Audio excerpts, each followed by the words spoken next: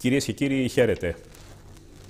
Παρασκευή απόψε 16 Φεβρουαρίου του 2018 και παρακολουθείτε το 10ο επεισόδιο της εκπομπής V for Vendetta, της εκπομπής την οποία αγαπήσατε και η οποία τίνει να γίνει εκπομπή αναφοράς του διαδικτυακού μας σταθμού, της Οδύσσιας TV. Να σας ευχαριστήσω για άλλη μια ακόμη φορά για τα σχόλιά σας, την ε, κριτική σας, την καλοπροαίρετη αλλά και την κακοπροαίρετη από μερικούς, την ε, ενημέρωση που μας ε, κάνετε κάποιοι μέσω των σχολείων, ε, τις παρατηρήσεις, κάποιες πληροφορίες που μας δίνετε. η επικαιρότητα, όπως όλοι θα έχετε παρατηρήσει, αυτή την περίοδο τρέχει με γοργούς ρυθμούς και βλέπουμε στον ευρύτερο χώρο της Ελλάδος, του, του Αιγαίου, της Μεσογείου, οι θερμοκρασίες να έχουν ανέβει αρκετά τις τελευταίες ημέρες, και βεβαίως όλα αυτά και όσα ε, έχουν ε, γίνει και την, ε, το διάστημα που παρενευλήθη μεταξύ των δύο εκπομπών, θα τα συζητήσουμε με τον αγαπημένο σας προσκεκλημένο, τον κύριο Β, τον οποίο για μία ακόμη φορά καλωσορίζω. Καλώς σας βρήκα. Καλησπέρα σας.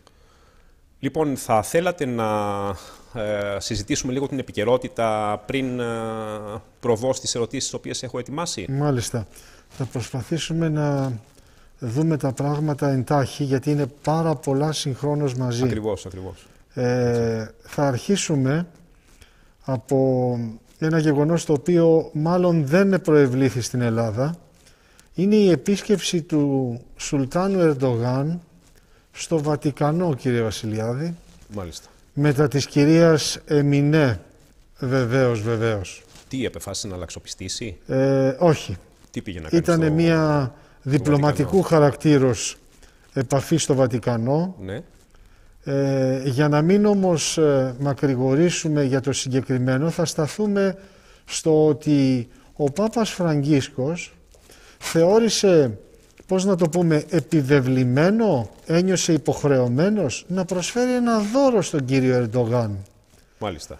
Άκουσον, άκουσον, ένα δώρο το οποίο ήταν ένας ανάγλυφος άγγελος, η λέξη άγγελος σε πολλά εισαγωγικά αν θέλετε, Ναι. τον οποίο τον απεκάλεσε ο Πάπας την ώρα που τον παρουσίαζε στον κύριο Ερντογάν ως τον άγγελο της ειρήνης. Μα Τι καλά. τώρα, Υπονοείται μήπως κάτι αντίστοιχο με του παλιού Φαλιρού, κάτι τέτοιο δηλαδή. Ε, Γιατί εγώ δεν το είδα, ειλικρινά δεν το είδα, γι' αυτό Όχι. ρωτάω έτσι. Ε, όχι. Α. Ε, υπάρχουν υπάρχουν ε, φιλμάκια που δείχνουν τις στιγμές αυτές που παρουσιάζει ανάμεσα στα άλλα ο Πάπας στον κύριο Ερντογάν ορισμένα πράγματα που είναι απλωμένα πάνω σε τραπέζια. Ναι. Η κάμερα δεν έχει δείξει καλά ακριβώς ε, αυτό το σημείο με τον ε, αναφερόμενο λεγόμενο άγγελο αλλά θέλω να ρωτήσω είναι δυνατόν στον Τούρκο να προσφέρεται σε ποιον δηλαδή ε, ο Τούρκος ο οποίος άσχετα αν είναι ο Ερντογάν ή όποιος Ερντογάν που εδώ και πάρα πάρα πολλά χρόνια θερίζει Κούρδους, θερίζει εδώ και χρόνια Σύριους που διώκει ακόμα και τους ίδιους του τους ομοεθνείς κύριε Βασιλιάδη για το παραμικρό και μάλιστα τους κλείνει στα κάτεργα. Γνωρίζουμε πόσες ατελείωτες χιλιάδες έχει ξυλώσει εκπαιδευτικών, δικαστικών, στρατιωτικών, Έτσι, αστυνομικών και του δίνει τον άγγελο της ειρήνης. Ε, τι να πω, είναι, είναι ε, Εντάξει, ενδεχομένως σαν μία κίνηση, μήπως μετανοήσει ο Σουλτάνος. Δεν ξέρω τώρα τι, τι κρύβεται πίσω από αυτή την Ναι. ε, χειρονομία του, του Πάπα. Ήθε, να, ήθε κάποτε να μετανοήσει Αλλά- για όλα αυτά τα εγκλήματα που τον βαρύνουν και εκείνον και τους προκατόχους του. Ναι. Ε, πριν μιλήσουμε όμως για το Αιγαίο που μας καίει, ε, θα έπρεπε να πούμε, επειδή το, παι- το παιχνίδι όπως ξέρετε δυστυχώς ε, χοντρένει, η τουρκική προκλητικό της επικίνδυνα κλιμακώνεται, την ίδια ώρα που εμείς οι Έλληνες δυστυχώς, και το λέμε με πόνο, βλέπουμε υπνοτισμένοι ως συνήθως survivor, κύριε Βασιλιάδη.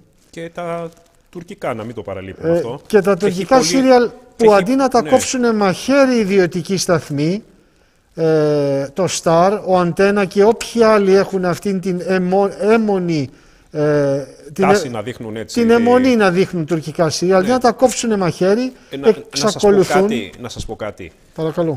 Ε, είναι το θέμα το οικονομικό ένα που δίνουν προφανώς ε, σημασία. Βεβαίως το εθνικό προέχει, αλλά δεν νομίζω ότι τους ενδιαφέρει αυτούς τώρα το εθνικό. Θα έπρεπε. Έτσι, διότι επιβάλλει, όπως ξέρετε, η Τουρκία Ναι. αυτά να παίζονται αμεταγλώτιστα Έτσι. για να ακούγεται μέσα στα ελληνικά σπίτια η τουρκική γλώσσα. Είναι... Το... Καλά κάνατε και το είπατε. ναι. Το δεχθήκαμε ε, προετών ε, χωρίς να κάνουμε καμία προσπάθεια διαπραγματεύσεως. Σιωπήσαμε, ενώ θα έπρεπε να επιβάλλουμε την μεταγλώτηση. Γιατί όμως επέμεναν τόσο Όχι, να πολύ... επιβάλλουμε να μην τις πάρουμε. Δεν κατάλαβα δηλαδή. Γιατί να δείχνουμε τουρκικές σειρές; Δεν υπάρχουν. ε, η, η αρχική δικαιολογία ήταν Ναι. το πολύ χαμηλό κόστος πριν, πριν χρόνια. Αλλά θέλω να πω το εξής. Ε, γιατί σώνει και καλά θα πρέπει να περάσει ο σχεδιασμός ο τουρκικός να εξοικειώνεται το αυτί των Ελλήνων με τη γλώσσα τους. Αυτό δεν μπορώ να το καταλάβω. Βεβαίως, κάτι που πρέπει να τους καταλογίσουμε θετικό είναι ότι δεν έχουν καμία σχέση με τις αντίστοιχες ελληνικές σειρές, Α. με τους κουνιστούς, τις ξεβράκοντε και Ναι. ούτω καθεξής, έτσι. αυτό είναι ένα άλλο ζήτημα. Είναι πολύ προσεγμένες αυτές Συμφωνώ. οι, οι τουρκικές σειρές. Φοβούμαι ότι θα Έτσι, για να μην συμφωνήσω. λέμε μόνο τα αρνητικά, να πούμε και το θετικό Ναι. της, Ναι, ε, ναι. της υποθέσεως. Ε, ήθελα λοιπόν να πω, ε, όσοι, όσοι τυχόν για να κλείσουμε με το θέμα της επισκέψεως στο Βατικανό και της ε, αδυναμίας πολλών ε, Ελλήνων να ξεχνιούνται σε πολλά εισαγωγικά σε αυτά τα σύριαλ, να πούμε ότι επιτέλους για αυτό το πρόσωπο τον Πάπα Φραγκίσκο, για τις περίφημες ε, ε, ε, ημέρες, αυτά που λέμε τα έργα και οι ημέρες αυτού του ανθρώπου, μάλλον ημέρες σιωπής και ντροπής, είναι καλό να αναζητήσει κανείς την πορεία του επί των δικτατορικών στρατιωτικών καθεστώτων στην Αργεντινή, κύριε Βασιλιάδη. Τότε λοιπόν που ήταν ένας απλός κληρικός στην αρχή, μετέπειτα επίσκοπος, τότε θα καταλάβει ο κόσμος πραγματικά με ποιον έχουμε να κάνουμε σε Μάλιστα. αυτό το, ο- Μάλιστα. στον θρόνο του Βατικανού. Και βέβαια οι όποιοι ε, φιλομαθείς ερευνητές που θα κάνουν αναζήτηση δεν χρειάζεται προς Θεού να ξέρουν ισπανικά για να γνωρίσουν τα της Αργεντινής. Μπορούν σε αγγλικές ιστοσελίδες κάλλιστα με τα απλά αγγλικά που γνωρίζουν να διαπιστώσουν τα πάντα. Ακριβώς. Φεύγουμε λοιπόν από, το, από τον ε, Πάπα και πολύ ασχοληθήκαμε, αλλά έπρεπε και να μιλήσουμε για το θέμα που καίει όλους αυτή τη στιγμή, λόγω των ημερών, τι έγινε στα Ήμια, κύριε Βασιλιάδη. Αφού ε, θα πρέπει να ξεκινήσουμε επί των ημερών του Αρώνα Βούρ, δηλαδή πιανού, του Σιμίτη. Του γνωστού. Το Σιμίτης σε πολλά εισαγωγικά. Ναι. Δώσαμε, επαναλαμβάνω, δώσαμε τα ίμια, μετατράπησαν δυστυχώς σε γκρίζα ζώνη. Μας πονάει ατελείωτα, αλλά δυστυχώς είναι η αλήθεια. Είναι γκρίζα ζώνη. Ή τα θεωρούν οι Αποδεικνύεται, Τούρκοι δικά τους. αποδεικνύεται ότι η, συγκε, η συνεχής προσέγγιση ε, τουρκικών ε, περιπολικών διαφόρων μεγεθών τόσο κοντά στα ίμια και η εξαποστάσεως εμφάνιση των ελληνικών Ακριβώς. κάτι σημαίνει. Ακριβώς. Και Τι κάτι σημαίνει; πολύ αρνητικό σημαίνει για Ότι μας. έχουν παραδοθεί; Ε, φοβούμαι ότι τυπικά είναι ελληνικό έδαφος και με- το λέω με πολύ πόνο ψυχής, ιδάλλως θα μπορούσαν κάλλιστα να έχουν τη χρήση που είχαν παλιά. Αλλά επιτρέψτε μου να, Ναι. να συνεχίσω από εκεί που έμεινα. Όχι, μήπως είναι τουρκικό δε- έδαφος πλέον και δεν έχουμε ενημερωθεί. Αυτό με Δεν θα ήθελα να το προβληματίζει. παραδεχθώ αυτό. Δεν ξέρω. Δεν Είναι, ξέρω. Θα είναι, δείξει. μια, είναι μια αρνητική υπόθεση, δείξει. αλλά δεν θα ήθελα να το παραδεχτώ. Ναι. Ε, πρέπει να θυμίσουμε για το περίφημο 1996, ενώ ο ελληνικός στόλος τότε ήταν στο σύνολό του πανέτοιμος και με το δάχτυλο στη σκανδάλη. Είχε και υπεροπλία, κάναμε πίσω. Επειδή κάποιος κύριος Μπιλ, εννοούμε τον Κλίντον βέβαια, Βέβαια. ήθελε να ευνοήσει την τουρκια της κυρίας Τανσού Τσιλέρ, Ακριβώς. υπενθυμίζω. Ακριβώς. Και εδώ θα ανοίξω μία παρένθεση. Πρωθυπουργός της Τσιλέρ τότε. Διότι δεν βλέπω να τα λένε τα κανάλια και αυτοί οι περισπούδαστοι πια αναλυτές των ελληνοτουρκικών ότι η κυρία Τανσού Τσιλέρ είχε ένα κωδικό όνομα στη CIA κύριε Βασιλιάδη. Ξέρετε, αν ε, είχαν γίνει σωστά τα πράγματα τότε, θα είχε πολύ ενδιαφέρον να μαζεύει ε, καταδυτικό τουρισμό το Αιγαίο. Μάλιστα. Θα πηγαίνουν να δουν τα βυθισμένα τουρκικά πλοία. Πολύ χαριτωμένο, μου άρεσε αυτό, ναι. Ναι. Ναι, ναι, θα ήταν όλα όντως. στον πάτο. Όντως, Αλλά όντως. βλέπετε δεν έχουμε ηγεσίες, έχουμε άλλα πράγματα εδώ πέρα. Ναι, ήταν η εποχή που φύσαγε ο αέρας. Έτσι. Ναι, ναι, φύσαγε ο άνεμος Ε, και έπαιρνε τη σημαία. Έμεινα στο σημείο Είπε που ο- έλεγα. Να μην τον χαρακτηρίσω τώρα αυτόν που λέτε. Συγκρατηθείτε. Να μην τον χαρακτηρίσω. Συγκρατηθείτε. Ε, έμεινα στο σημείο που έλεγα ότι Ναι. η κυρία Τανσού Τσιλέρ είχε στη CIA ένα κωδικό όνομα το οποίο αντιστοιχεί με ένα λουλούδι κύριε Βασιλιάδη. Για πείτε. Τόσο χαριτωμένο. Δεν θέλω να το συνεχίσω εδώ, αλλά το λέω για να μην ξεχαστούμε. Ναι. Θέλω όμως να πάω αμέσως μετά, πιάνοντας και αυτό που αναφέρατε, Ναι, ναι. την φοβική ελληνική ηγεσία της εποχής, πραγματικά φοβική, που έκανε πίσω, Καλά, νομίζω αυτό είναι διαχρονικό χαρακτηριστικό. των, ε, συμβιβάστηκε, Των ηγεσιών, έτσι. δυστυχώς ναι, Από τη μεταπολίτευση και μετά Και- δεν ξέρω αν ε, και έκανε, υπήρξε. έκανε υποχωρώντας άμεσα, έκανε ό,τι υπαγόρευσε ο Αμερικανικός παράγων και προσέξτε, θυσιάστηκαν οι τρεις ήρωές μας κύριε Βασιλιάδη, Βεβαίως, του βεβαίως. ελικοπτέρου του πολεμικού ναυτικού, ανάπαυση να έχει η ψυχή τους, ο Γιαλοψός, ο Καραθανάσης και ο Βλαχάκος. Να μην ξεχνάμε αυτά τα τρία ονόματα των αξιωματικών του πολεμικού ναυτικού. Εννοείται. Οι Και- νέοι, τα νέα παιδιά να μην τα ξεχνάνε. Τα Ακριβώς, νέα παιδιά. Αυτά ακριβώς. έχει σημασία να θυμούνται. Και για να πάμε και στα πρακτικά, επειδή είπατε αν μπορούμε να πάμε τώρα, Βεβαίως. ο διάσημος Βοσκός, ο οποίος πήγαινε με καΐκια κύριε Βασιλιάδη τα πρόβατά του για χρόνια για να βοσκήσουν, δεν μπορεί από τότε να τα ξαναπάει. Πήγαινε, αν θυμάστε, με καΐκι από την Κάλυμνο, δεν μπορεί πλέον, όχι δεν θέλει, δεν μπορεί πλέον να ναι, το ναι, κάνει, Δεν το επιτρέπετε. να ξαναπάει επειδή δεν του το ξαναεπέτρεψε ποτέ το ελληνικό λιμενικό σώμα. Επίσης, ε, αυτός ο παππούς βέβαια ζει στην Κάλυμνο, επίσης και ο τότε δήμαρχος που ακόμα οι ανεγκέφαλοι σε, κάποιοι, σε κάποια σημεία στην αριστερά τον πετροβολούνε, τον τότε δήμαρχο, ζει και εκείνος και γνωρίζει. Και υπάρχουν και συνεντεύξεις του που μπορεί να θυμίσει. Ο Δήμαρχος λέτε που έβαλε τη σημαία πάνω, έτσι. Ορίστε. Ο- ο- Που ανέβηκε και έβαλε τη σημαία. Μάλιστα. Ο δήμαρχος της Καλύμνου. Ναι, ακριβώς. Ο κύριος, αν δεν απατώμε, Διακομιχάλης, αν θυμάμαι το επώνυμό του σωστά. Μάλιστα. Μάλιστα. Ο κύριος λοιπόν Σιμίτης, ξαναλέω με εισαγωγικά γιατί είναι ψεύτικο το επώνυμο, ευχαρίστησε αν θυμάστε μέσα στη Βουλή Ναι, της ψεύτικο, Ηνωμένες αλλά Πολιτείες. Χαρακτηριστικό. Θα το ψεύτικο αναλύσω αν μένα, θέλετε. χαρακτηριστικό. Αν μου δώσετε το χρόνο θα το αναλύσω. Βεβαίως, εννοείται. Ε, ευχαρίστησε τότε μέσα στη Βουλή Ναι. τις Ηνωμένες Πολιτείες ξεσηκώνοντας όλη την Ελλάδα στο πόδι και όλον τον ελληνισμό της γης εναντίον του και βέβαια με τη δικαιολογία ότι και καλά ήταν άπειρος, είχε μόλις λίγα 24 ώρα πρωθυπουργός, ενώ προσέξτε και είναι θέμα κλειδί αυτό, είναι Ναι. θέμα κλειδί παρακαλώ με- να με ακούσετε, τον τότε αρχηγό της Εθνικής Υπηρεσίας Πληροφοριών, είναι πολύ σημαντικό, τον συγχωρεμένο πλέον τον Ναύαρχο Λεωνίδα Βασιλικόπουλο, Ναι. που επέμενε ώρες επί ωρών να του μιλήσει, να του επιτραπεί να τον πλησιάσει, δεν τον δέχτηκε ποτέ ο κύριος Σιμίτης, ο οποίος είχε ζωτικότατες πληροφορίες για το τι ετοίμαζαν οι Τούρκοι στα Ήμια. Και δεν τον δέχτηκε ποτέ τον κύριο, τον συγχωρεμένο Ναύαρχο Λεωνίδα Βασιλικόπουλο. Αυτά δεν πρέπει να τα ξεχνάμε. Μάλιστα. Μάλιστα. Για κανένα λόγο. Όταν μιλάμε για ημεία πρέπει να καδάρουμε στο μυαλό μας τον Καταλαβαίνουμε- κύριο Σιμίτη. Ναι. Καταλαβαίνουμε πόσο μεγάλη θεατρική παράσταση ήταν εκείνη που έλαβε χώρα τότε το 1996. έτσι. Οπότε, οπότε για να μην Από μακρηγορούμε. πλευράς πολιτικής ηγεσίας εννοώ. Ναι, σαφώς. Ναι. Οπότε για να μην μακρηγορούμε, τα ίμια απετέλεσαν και αποτελούν λόγω όλων των ανωτέρων και πλήθος ασφαλώς άλλων γεγονότων και στοιχείων, μερικά από αυτά απόρριτα ακόμα, αρχή παραχωρήσεων και υποχωρητικότητος προς την Άγκυρα, αυτό που λέμε δυστυχώς και το λέμε με πόνο γκρίζα ζώνη. Βέβαια το ξέρουμε στο κεφάλι.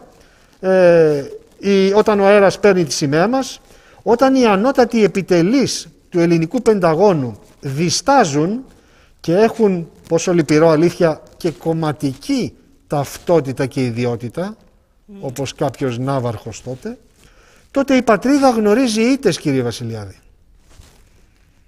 Μέσα σε αυτά τα πλαίσια είναι και το πολύ πρόσφατο και προαναγγελθέν, κρατήστε αυτή τη λέξη, και προαναγγελθέν τρακάρισμα στα ίμια. Επιτρέψτε μου ε, την έκφραση, είναι προαναγγελθέν το τρακάρισμα. Τι εννοείται προαναγγελθέν; Αφού μας το είχε μαρτυρήσει Ναι. μόλις λίγα 24 ώρα πριν ο κύριος πρέσβης Ποιος Και βέβαια ξέρετε, ένας είναι ο κύριος πρέσβης, ο κύριος πρέσβης των Ηνωμένων Πολιτειών. Στην περίφημη, στην πασίγνωστη συνέντευξη που παρεχώρησε τότε, Ναι. στην κυρία Σία Κοσιόνη και στο Διάβλο Σκάι. Και τι είχε πει μεταξύ άλλων και πολλών ο κύριος πρέσβης στην κυρία Κοσιόνη, Ναι. ότι φοβάται ένα ατύχημα στο Αιγαίο. Και λέμε, βρε τον κύριο Τζέφρι, ούτε προφήτης να Και ήταν. προφήτης να ήταν, πράγματι. Πραγματικός προφήτης ο κύριος Πραγματικός, Τζέφρι. Ναι. Και η Ρίστο εμπαρόδο ε, να πούμε ότι στην ε, επίσκεψη που έκανε αυτό το, αυτό το χρονικό διάστημα ε, μόλις ε, χτες ε, Στην, ο ε, Αμερικανός Υπουργός Εξωτερικών ο κύριος Ρεξ Τίλερσον στην Άγκυρα Τον συνόδευσε. περιέργως τον συνόδευσε ο κύριος Τζέφρι Πάιατ από την Αθήνα πήγε και εκείνος να παρίσταται στην Άγκυρα και επίσης να πούμε διότι δεν το πρόσεξαν ίσως οι πολλοί τηλεθεατές ότι η συνάντηση του κυρίου Τίλερσον με τον κύριο Ντογάν δεν πήγε καθόλου καλά και διήρκησε κύριε Βασιλιάδη 3,5 ώρες. Είναι έξω από κάθε διπλωματικό δεδομένο 3,5 ώρες να δέχεται τον οποιονδήποτε ένας πρόεδρος Δημοκρατίας. Πόσο Μάλιστα. μάλλον όχι ένα ομόλογό του, αλλά έναν Μάλιστα. υπουργό εξωτερικών. 3,5 ώρες, το τονίζω. Είναι χαρακτηριστικό. Και δεν πήγε καλά. Καθόλου καλά. Και τα λέγανε οι ανταποκριτές ε, των εφημερίδων των ελληνικών και των ε, τηλεοπτικών σταθμών απευθείας σε μετάδοση. Μάλιστα. Τώρα πρέπει να πούμε και κάτι άλλο, ε, φεύγοντας από αυτό, γιατί το θέμα των ημείων δεν κλείνει. Θα μπορούσαμε βέβαια να πούμε γιατί από όλες αυτές τις ατελείωτες βραχονισίδες στο Αιγαίο, το 1996 επικεντρώθηκε η υπόθεση εκείνη με το τυχαίο τουρκικό ελικόπτερο και τους τυχαίους δημοσιογράφους που πήγανε πρώτη φορά και ξυλώσαν την ελληνική και βάλαν την τουρκική. Να πούμε ότι δεν είναι ότι διαλέξανε επειδή ήταν πολύ ωραία τα δύο ήμια, τα γιατί διαλέξανε οι Τούρκοι, Γιατί ήτανε; αλλά έχει πάρα πάρα πολύ σπουδαίο περιεχόμενο υπό την θάλασσα, το περίφημο όσμιο, το οποίο είναι ένα μοναδικής αξίας, ε, να το πούμε ορυκτό, είμαστε ακριβείς, ε, το όσμιο το οποίο χρησιμοποιείται κύριε Βασιλιάδη στην διαστημική τεχνολογία και όποιος πολύ εύκολα κάνει στο Google αναζήτηση θα δει ότι το γραμμάριο κοστολογείται από το όσμιο 60.000 δολάρια τουλάχιστον. Ίσως Το έχει, γραμμάριο; ίσως έχει ανέβει κι άλλο. Μάλιστα. Τόσο Μάλιστα. τυχαία επελέγησαν Άρα, οι ναι. δύο βραχονισίδες ήμια το 96 για να γίνουν τα επεισόδια. Όλα τα άλλα είναι παραμύθια χοντροκομμένα της χαλιμάς έλεος. Τα παραμύθια πρέπει να τελειώσουν. Όσοι έχουν περιέργεια και δεν γνωρίζουν και είναι φυσικό να μην γνωρίζουν, ας ψάξουν στο ίντερνετ να δούνε τι είναι το όσμιο. Κλείνουμε εδώ. Μάλιστα. Πολύ σημαντικό. Προς το Πολύ παρόν σημαντικό. τουλάχιστον. Ε, κάτι άλλο σημαντικό για την ιστορική μας αυτογνωσία κύριε Βασιλιάδη που εμάς μας αγγίζει πάρα πολύ έγινε ένα ξεχωριστό μνημόσυνο στο Μόναχο στη Γερμανία Ναι. και αφορά όλους τους Έλληνες. Ε, μην ψάξουν άδικα οι φίλοι τηλεθεατές γιατί δεν γράφτηκε σχεδόν πουθενά το παραμικρό. Θα μου πείτε τι, Τι ε, είναι αυτό, τι, τι μνημόσυνο. τι γιατί μνημόσυνο; Και εγώ πρώτη φορά το ακούω. έγινε μνημόσυνο Ναι. ε, επί τη συμπληρώση 68 ετών από το θάνατο ενός από τους μεγαλύτερους Έλληνες διεθνούς φήμης, τον περίφημο μαθηματικό Κωνσταντίνο Καραθεοδωρή, κύριε Βασιλιάδη, ο οποίος τους περισσότερους Έλληνες, Εννοείται το δάσκαλο του Αϊνστάιν. τον δάσκαλο, επιτρέψτε μου, που δεν το ξέρει κανέ- ξεστράβωσε, που δεν το ξέρει κανένας. που ξεστράβωσε τον Αϊνστάιν Ναι, ναι. Που δεν το ξέρει κανένας. και έγινε στις ε, 2 Φεβρουαρίου, στη- ε, πέθανε στις 2 Φεβρουαρίου του 50 στο Μόναχο Ναι. ο συγχωρεμένος ο Καραθεοδωρής.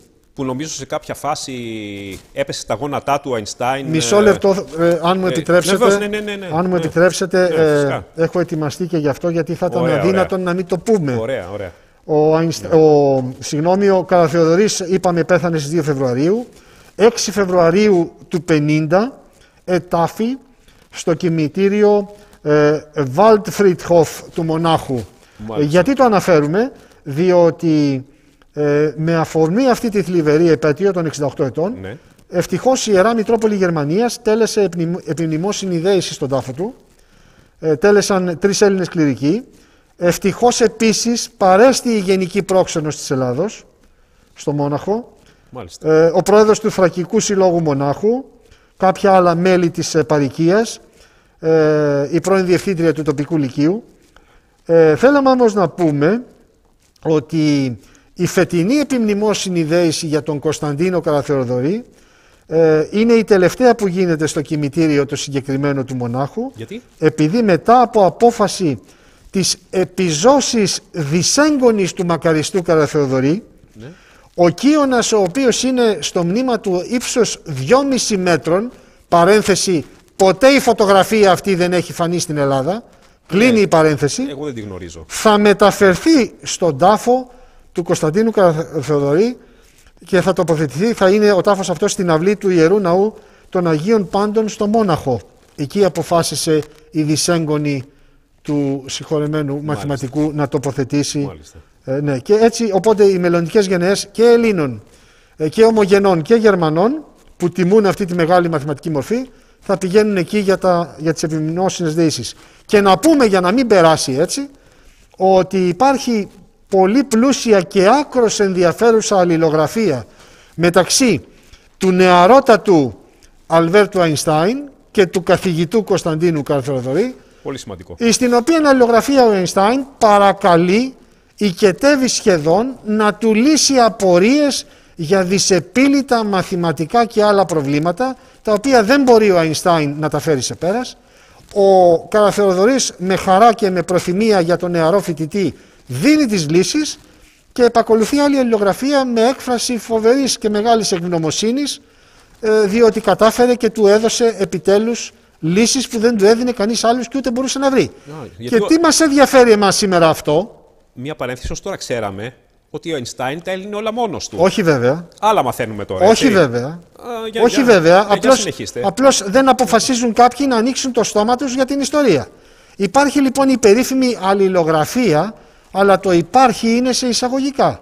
Διότι ναι μεν μας είπε πριν λίγα χρόνια η κυβέρνηση η Ισραηλινή του Τελαβίβ ότι θα μας παραχωρήσει ένα μέρος της αλληλογραφίας, αλλά αυτά τα οποία μας έστειλε δεν είναι η ουσιαστική αλληλογραφία «Σας ευχαριστώ πολύ δάσκαλε, είμαι Ναι, ευγνώμων». Είναι τα ανώδυνα. Ναι. Ε, Οπότε ε, στο αντίστοιχο ε, ε, μουσείο που υπάρχει στο Τελαβίβ παραμένουν επτασφράγιστα τα, ου- το ουσιαστικό κομμάτι της αλληλογραφίας Einstein Καραθεοδωρή ενώ στο μουσείο το οποίο έχουμε στη Θράκη δεν έχει τα αντίστοιχα ε, Μάλιστα. στοιχεία. Αυτά για να ε, ξέρουμε να ερμηνεύουμε ε, κάποια πράγματα. Ε, ήθελα επίσης να πω δύο λόγια μόνο και επιτροχάδιν ε, σχετικώς ε, με ορισμένα ε, σχόλια τελεθεατών που μας απασχόλησαν ε, για να μπορέσουμε να ε, δώσουμε απαντήσεις. Αλλά ε, μισό λεπτό ε, θα ήθελα, ε, πριν, πριν τα σχόλια, πριν τα σχόλια συγχωρέστε με, ε, θα ήθελα να κάνουμε μία αναφορά ε, στο σκοπιανό ζήτημα πριν πάμε ε, για την περίφημη συγκέντρωση. Ε, στο σκορπιασμό ζήτημα το οποίο ε, έτσι πρέπει να το λέμε και όχι μακεδονικό, διότι ξέρετε αυτοί καίγονται, εμείς δεν καίγομαστε. Σωστά. Αυτοί έχουν αυτή την επιμονή και βέβαια την υποστήριξη από το εξωτερικό. Ε, θα θέλαμε λοιπόν να διαβάσουμε τι έγραψε ένας ξένος, πέντε πραγματικά γραμμές για τη Μακεδονία μας και να εξηγήσουμε γιατί έχει μεγάλη αξία να το διαβάσουμε. Ναι. Ε, και είπε αυτός ο ξένος η Αμερικανική κυβέρνηση θεωρεί ότι οποιαδήποτε αναφορά σε μακεδονικό έθνος σε εισαγωγικά μακεδονική πατρόαγή σε εισαγωγικά μακεδονική εθνική συνείδηση σε εισαγωγικά είναι αδικαιολόγητη και δημαγωγική δεν αντιπροσωπεύει εθνική ή πολιτική πραγματικότητα ενώ διαβλέπει στην παρούσα αναβίωσή της πιθανό μανδύα για επιθετικές ενέργειες εναντίον της Ελλάδος. Η επίσημη πολιτική της Αμερικανικής κυβερνήσεως είναι να λάβει τα αναγκαία μέτρα εναντίον εκείνων που θα βοηθήσουν τη Ιουκοσλαβία και τη Βουλγαρία στη δημιουργία μακεδονικού ζητήματος σε βάρος της Ελλάδος. Ποιος ξένος τα είπε αυτά κύριε Βασιλιάδη, Ε, για πείτε, για εγώ είναι λέξη προς λέξη Ξέρω ποιος το και είπε, μην για πείτε. τολμήσει κανείς και μας πει ότι δεν ξέρουμε τι διαβάζουμε. Ναι, ναι, ναι. Είναι ο Αμερικανός Υπουργός εξωτερικών το 1944 ο Έντουαρτ Στετίνιους, ο οποίος δεν έκανε αυτή τη δήλωση που μόλις διάβασα, αλλά ήταν οδηγία προς όλες τις διπλωματικές υπηρεσίες των Ηνωμένων Πολιτειών ανά την Ιφίλιο. Ρούσβελτ τότε τι ήτανε; Ήταν ο πρόεδρος Ρούσβελτ, παρένθεση στα τελευταία του επειδή ήταν βαριά άρρωστος, αλλά ο Έντουαρτ Στετίνιους υπηρέτησε όπως είπαμε και στην προηγούμενη εκπομπή και επί Προέδρου ε, Χάρι Τρούμαν. Γιατί ο Τρούμαν ήταν αντιπρόεδρος επί Πρόεδρου Ρούσβελτ. Αυτά που μόλις διαβάσαμε τα έχουν γράψει ποτέ κύριε Βασιλιάδη; Είναι δυνατόν ποτέ; Ποτέ. Ποτέ. Όχι βέβαια. Άρα λοιπόν για την Αμερικανική κυβέρνηση είναι λιμένο από το 1944 το θέμα. Γιατί υπαναχωρούν συνεχώς οι Ηνωμένες Πολιτείες και είναι η εγκύκλειος υπαριθμών για να μην μας πει κανείς τίποτα 86-80-14 της 26ης Δεκεμβρίου του 44. Μάλιστα. Είμαστε πάρα πολύ συγκεκριμένοι. Επίσης, ε, είναι ένα θέμα ζωτικό των ημερών και κακός θα έλεγα, αυτές οι απίστευτες ή μάλλον εξοργιστικές δηλώσεις του Δημάρχου Θεσσαλονίκης. Ε, καλά. Ο οποίος μάλιστα ζήτησε, Αυτός είναι για γέλια. ε, γελάνε και οι βράχοι θα έλεγα, όχι μόνο οι πέτρες, Ναι. ζήτησε λέει να αλλάξουμε το όνομα του αεροδρομίου ε, γιατί μπερδεύονται λέει οι τουρίστες κατεβαίνοντας από το αεροπλάνο. Μπερδεύουν λέει τη Θεσσαλονίκη με τα Σκόπια. Αν είναι δυνατόν. Μάλιστα. Ε, άραγε ήταν νυφάλιος όταν το είπε, είχε κάποια επίρρεια, δεν ξέρουμε. Ε, μετά ευτυχώς το πήρε πίσω και μάλιστα γέλασαν οι πάντες επίσης γιατί είπε ότι ήταν κοιμισμένος όταν του πήραν αυτή τη δήλωση και δεν ήταν σε θέση να απαντήσει. Έλεος, έλεος, έλεος. Εισέπραξε, θα το πω και ας είναι η Τι λέξη ήταν υπό την άσχημη, εμπειρία ουσιών, δηλαδή. Εις, τι- ε, ουδέν σχόλιον. Εισέπραξε τόσο πολύ φτύσιμο, με συγχωρείτε για τη λέξη, κατάλαβε την ανοησία και τα πήρα πίσω. Αλλά, αλλά για τις δηλώσεις εκείνου του τιτάνιου, σε εισαγωγικά, Ναι, ποιος είναι ευρωβουλευτού του ΣΥΡΙΖΑ, του κυρίου Παπαδημούλη, αυτός; Α, μάλιστα. δεν ακούσαμε να γίνεται συζήτηση. Ναι. Τι μας είπε ο κύριος Παπαδημούλης, να και- παραχωρήσουμε λέει, Και αυτό το θάψανε. προσέξτε, προσέξτε, Ναι. να παραχωρήσουμε έλεος. Έλεος κύριε Βασιλιάδη. Τα λιμάνια και της Καβάλας και της Θεσσαλονίκης στους Σκοπιανούς για να τα χρησιμοποιούν και εκείνοι. Τα ακούσατε; Ή μήπως δεν τα ακούσατε καλά; Είναι αστείοι οι άνθρωποι. Μα έλεος. Α, ρε, και τι- θέλω να ρωτήσω και να ρωτήσω ευθέως. Πιο, ε, Να ρωτήσω ευθέως. πιο εθελόδουλος πεθαίνεις από αυτούς, ας πούμε. Τι, τι να πω Αυτούς, δηλαδή. αυτούς λοιπόν τους εκλεκτούς, αυτούς τους διαλεκτούς κυρίους Ναι. στέλνουμε στο Στρασβούργο. Βέβαια, ναι. για να υπερασπίζονται τάχα τα ελληνικά συμφέροντα, εισπράττοντας πάνω κάτω 15.000 ευρώ το μήνα, για να παραχωρήσουμε τα δύο κομβικά λιμάνια της Βορείου Ελλάδος στους Σκοπιανούς. Βεβαίως, προφανώς. Συγγνώμη, την είδατε την είδηση εσείς; Εγώ την είδα. Είστε σίγουρος; Εγώ την είδα. Αλλά αυτό δεν σημαίνει ότι την είδαν πολλοί, έτσι. Είναι Εγώ φοβερό. την είδα την είδηση. Είναι φοβερό. Ναι. Ε, θα έρθω λίγο, αν μου επιτρέπετε, επί το χάριν και πάλι, ε, στα σχόλια, ε, όπως λέ, ε, ορισμένα σχόλια των, ε, και αιτήματα θα λέγαμε, τηλεθεατών, Τηλεθεατών, ναι. ε, για θέματα που ζητούν ε, εκπομένων εκπομπών. Ένας φίλος τηλεθεατής ζήτησε να αναφερθούμε στο κυπριακό ζήτημα. Ένα θέμα που μας αγγίζει ιδιαιτέρως και μας αφορά άμεσα όλους τους Έλληνες Εννοείται. και δεσμευόμεθα να το κάνουμε κύριε Βασιλιάδη. Θα φέρουμε στην επιφάνεια στοιχεία και πληροφορίες που θα αφήσουν άναυδους τους Έλληνες τηλεθεατές αφού κανείς και ποτέ δεν τα είπε δημοσίως. Το οφείλουμε, αισθάνομαι να πω, στους Κυπρίους αδελφούς μας, το οφείλουμε οπωσδήποτε, και ας μας λένε οι Κύπριοι καλαμαράδες. Δεν τις έχουμε φερθεί όπως είχαμε υποχρέωση της Κύπρου σωστά σε αρκετές ιστορικές συγκυρίες. Μα κείται μακράν, πώς να τη βοηθήσουμε την Κύπρο. Ναι, ναι, είναι αυτό το περίφημο κείται μακράν. Αιώνες πριν οι αρχαίοι Έλληνες εξεστράτευσαν και πήγαν με τα πλοία στην Κύπρο. Ε, τον 20ο αιώνα με ολοκαίνουργια καταδιοκτικά μόλις τα είχαμε παραλάβει ήταν μακριά η Κύπρος. Ήταν Τα φάντομ. με τα φάντομ από Τα την φάντομ. Κρήτη. Από την Κρήτη. Ε, επτά λεπτά. Για όνομα του Θεού. Αυτό, εκεί. Αυτό ήταν το θέμα. Και τα δύο υποβρύχια, δύο φορές εδόθη εντολή να πλησιάσουν. Κατά καινούργια τα γερμανικά 209, τύπου 209, και δύο φορές τους είπανε να πάνε να γυρίσουν στη Ρόδο να βλέπουν τι, τις τουρίστρια στη Ρόδο. Θα είχαν και οι Κύπροι κατά δυτικό τουρισμό. Όλα κλειδωμένα ήταν τα τουρκικά. Θα ήταν όλα στον Όλα πάτο. κλειδωμένα, όλα κάτω θα Με τα ήταν. ψάρια εννοείται μαζί, παρέα. Με τα ψάρια. Με τα ναι. ψάρια. Με τα ψάρια. Οπότε δεσμευόμεθα ότι θα αναφερθούμε στο Κυπριακό και όχι με τον τρόπο που ακούγεται, με τον τρόπο που δεν έχει, ξαναλέμε, ακουστεί ποτέ ξανά. Πάμε σε ένα άλλο θέμα.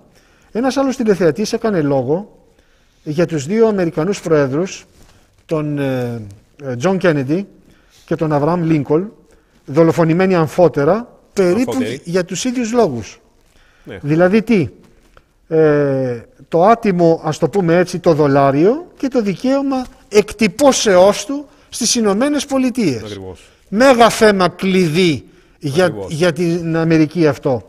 Με διαφορά λοιπόν 100 ετών δολοφονήθηκαν ο ένας το 1863 και ο άλλος το 1963.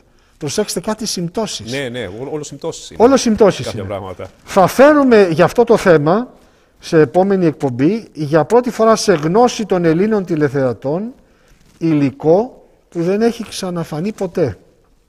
Κλείνοντας όμως αυτές τις αναφορές μας θα συμπληρώσουμε ότι μιλώντας για πολιτικές ε, δολοφονίες στην Αμερική, στις Ηνωμένες Πολιτείες ή σχετιζόμενες άμεσα με τις Ηνωμένες Πολιτείες ε, δολοφονίες ε,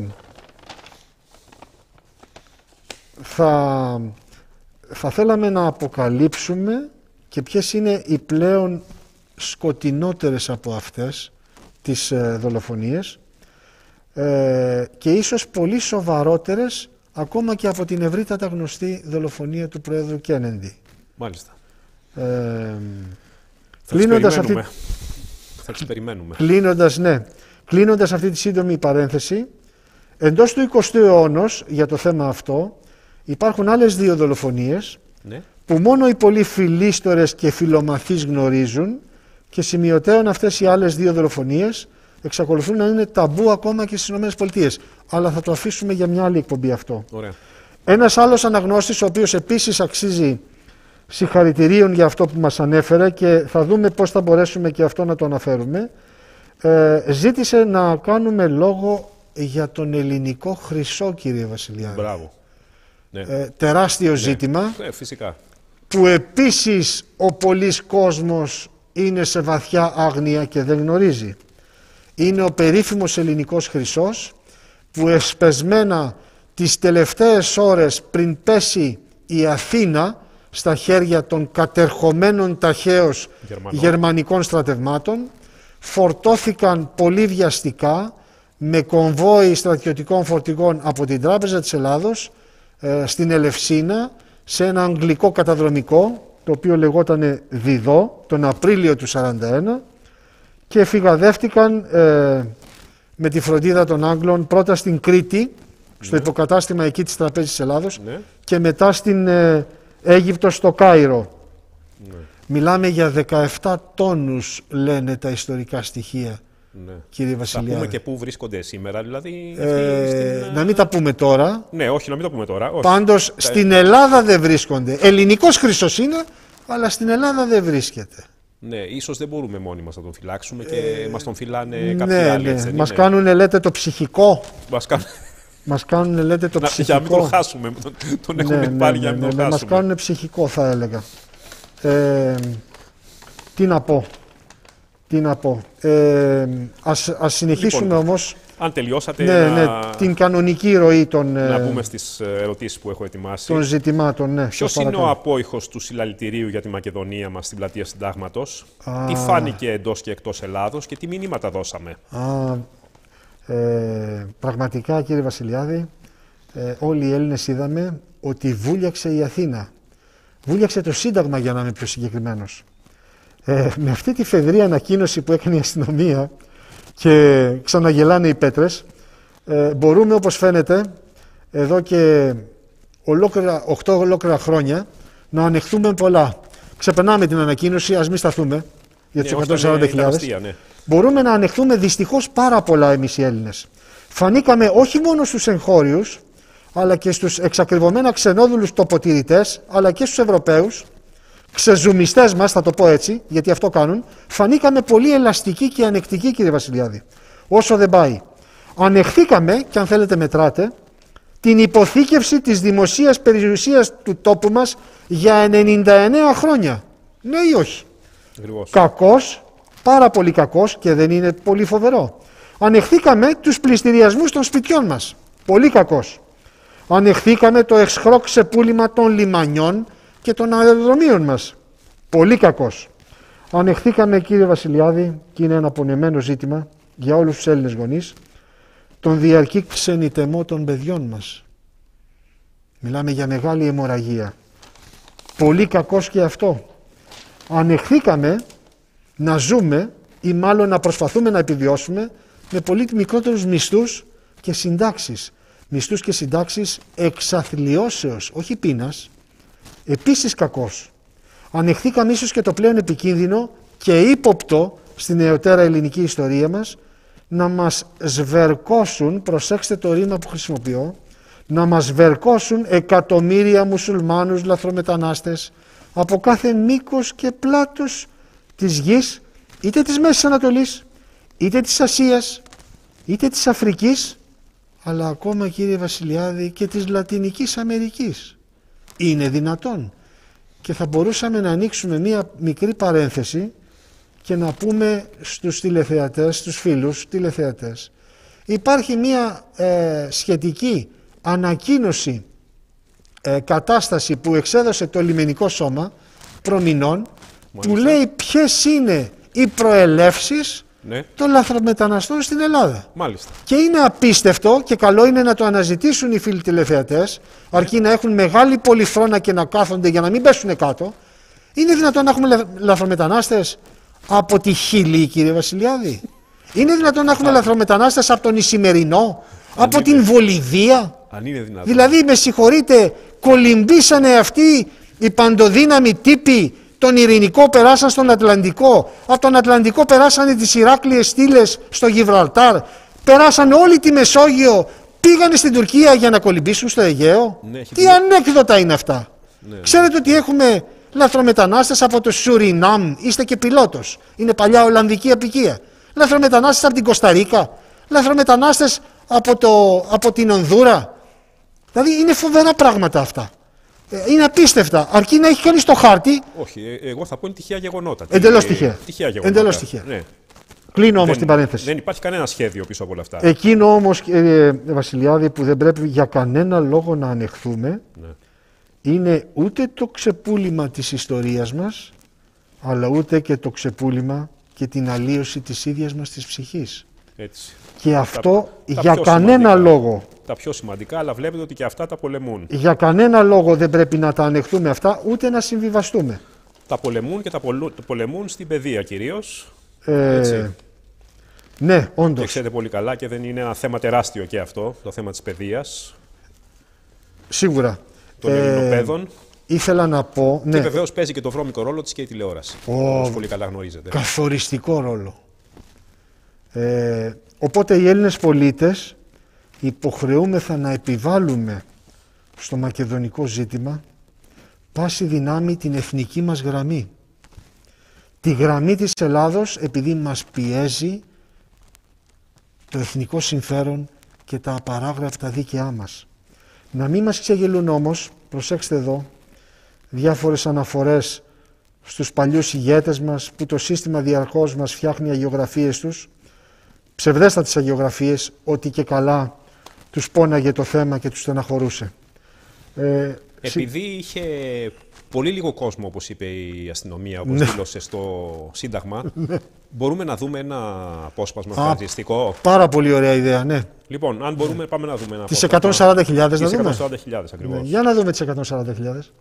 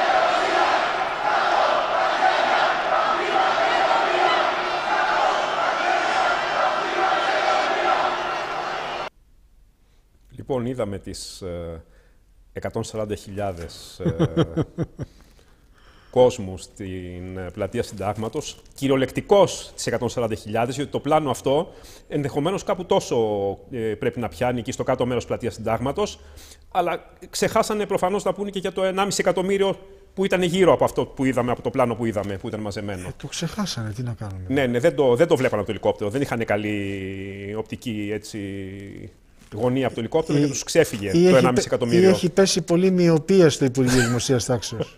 Πάρα πολύ μοιοπία. Λοιπόν, γιατί τόσο μίσος και τόση εμπάθεια κατά του Μίκη Θεοδωράκη από το σύνολο της αριστεράς και των εντύπων της, τόσες δεκαετίες δεν τον εξυμνούσαν και τον θεωρούσαν δικό τους άνθρωπο; Πολύ σωστά το ρωτάτε. Πάρα πολύ σωστά. Ε, σάρκα από τη σάρκα τους θα λέγαμε και ίσως θα μπορούσαμε να δούμε ε, και κάποιες ε, ε, φωτογραφίες κύριε Βασιλιάδη. Ναι, αν μπορούμε να δούμε την πρώτη φωτογραφία με τον κύριο Μίκη Θεοδωράκη. Να θυμηθεί ο τηλεθεατής. Α, μάλιστα. Εδώ είναι από τη συνεργασία που είχε ο κύριος Μίκης Θεοδωράκης με τον ε, πρώην Πρωθυπουργό Ανδρέα Παπανδρέου. Ε, ας δούμε ακόμα μία φωτογραφία.